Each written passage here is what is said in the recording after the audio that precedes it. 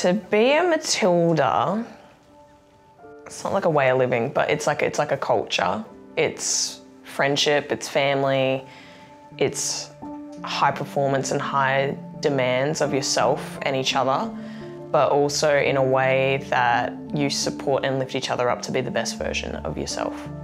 The Olympics is a special moment because it's most of our first taste of professionalism and representing the country.